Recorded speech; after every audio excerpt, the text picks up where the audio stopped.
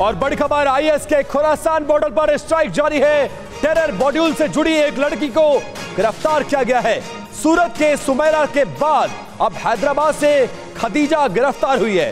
पहले पकड़े गए आतंकियों के संपर्क में खदीजा नाम की यह लड़की थी, जिसको गिरफ़्तार किया गया है कट्टरपंथी खदीजा से।